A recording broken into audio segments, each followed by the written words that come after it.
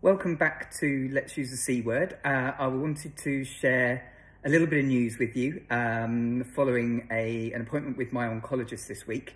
And I am delighted to be able to say that he talked me through uh, my CT scan.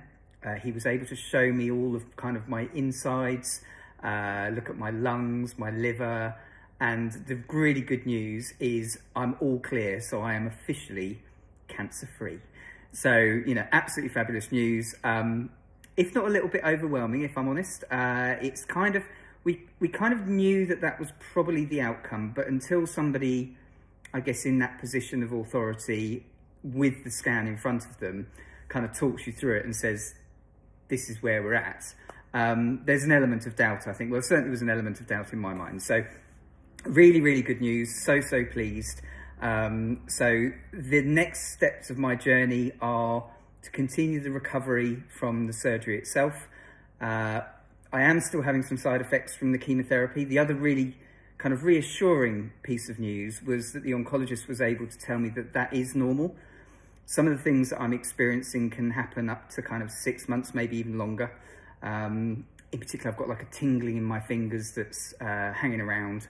Uh, and that actually may never subside, but hopefully, fingers crossed, uh, it will do over time. Um, and that's exactly what these remaining side effects will do. They'll start to kind of disappear or get easier over time. Um, and so therefore I will be getting back up to a kind of normal way of living. Um, as I said, there's a few kicking around um, and I'm just going to manage those. The next thing that actually happens is uh, the removal of my portacath. And again, that was a really lovely thing that the oncologist was able to say because of where I am and the news that he was able to share, he's confident that there's no need to keep that in. And again, that's like a, it's almost like a seal of approval that things are coming to a close. So really, really good news. Um, that I think will happen probably in the next couple of weeks. We're waiting for an appointment. Not entirely sure what's involved in terms of sedation on that one, uh, but we'll we'll watch this space. And I'll I'll do an update and let you know kind of when that actually happens. And, and then I've got nothing kind of attached to me or inside me. So really, really good news. Um, started the process of uh, getting back to work as well. So that will also happen in the next couple of weeks.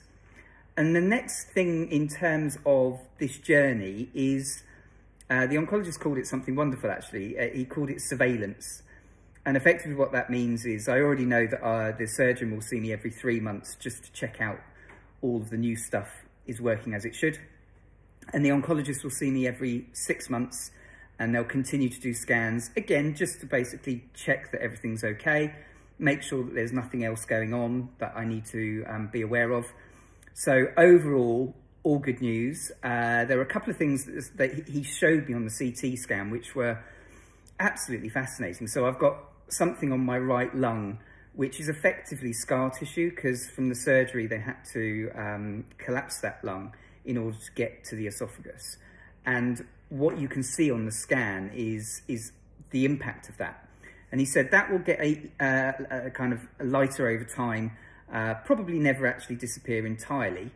But it's really fascinating to kind of see, and you can, you know, you can see the new, new way of working that I've got. And again, that was quite interesting, if not a little bit bizarre. Um, so yeah, just wanted to share the really good news. Um, I'll keep you updated because as I said, next step is Portacath. Um, and then I've got my ongoing um, kind of checkups and things.